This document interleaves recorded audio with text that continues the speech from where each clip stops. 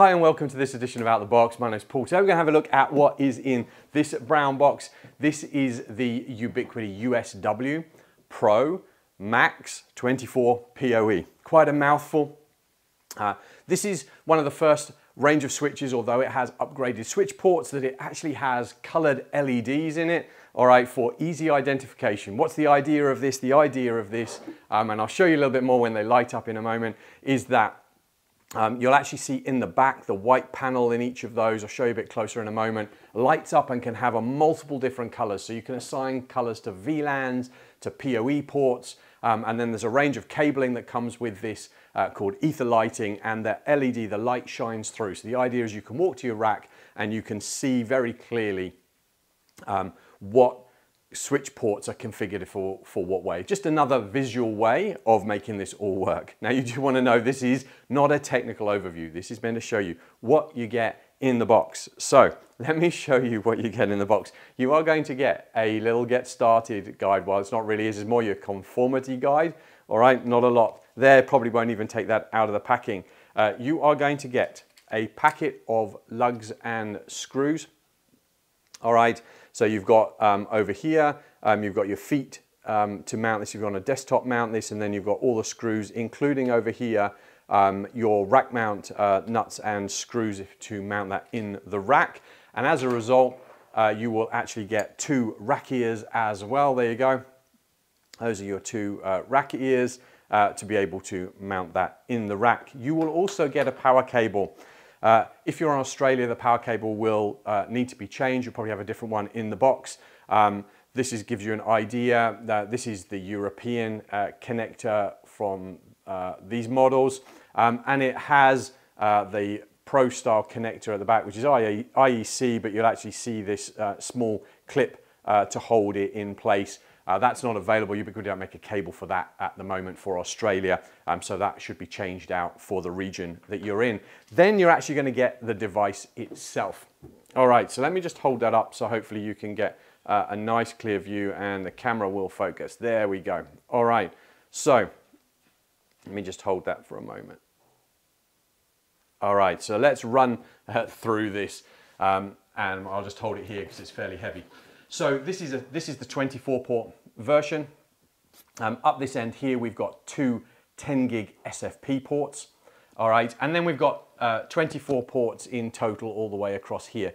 Now the key that you can see, and I, I, don't know how well this will focus, but you can see there's a white panel at the back of each one of uh, these. And in a moment, I'll add some power so you can actually see what it looks like. Traditionally, obviously up in the top corners of each of the sockets, we normally have our link lights. These are actually now shined from the back here and they can be designed whichever color that you want to display through there. So obviously we've got our two 10 gig SFPs. Uh, here we've got eight 2.4 gig, sorry, 2.5 gig, get my frequency wrong, 2.5 gigabit a second ports. Um, and these are PoE++, plus plus, so that's 60 watts a port. Uh, then down here we've got eight one gig ports, these again are PoE++, so 60 watts a port. And then we've got eight PoE ports down here, these are PoE+, all right, so 30 watts a port. I believe the whole uh, wattage for this device is about 400 um, watts. We've got our small LCD control panel uh, down here, and you'll also see our air intake slots across uh, the top here. We don't have any cooling at the sides. Um, you can see where we can put our rack mount uh, ears on the sides there. Let me just hold that up for you. All right. Um, and then at the back, what do we have? Well, um, over on uh, this side, this is where our um, IEC power will go in. You can see here um, that we've actually got our um, locking mechanisms. The idea is you put your cable in and then it locks into place if you have the right cable for that with the locking slot on it. All right, and then over here, um, we've got our RPS slot. So Ubiquiti have a product called the um, redundant power solution. It's not a UPS, not uninterruptible. The idea is that you can have multiple um, power sources. You have two power sources and they can be linked together. So this would have mains connected um, and then a connection to the RPS, which would have a connection to a different power source. And then if the power does fail from the one source, it would switch over to the other. Um, then you'll actually see again, we've got our exit um, air um, slots across the top here as well. All right, so that is the unit itself. Let me just um, add some power to this um, just so you can get the idea. Like I said, there's cables coming for this called the Etherlighting cables.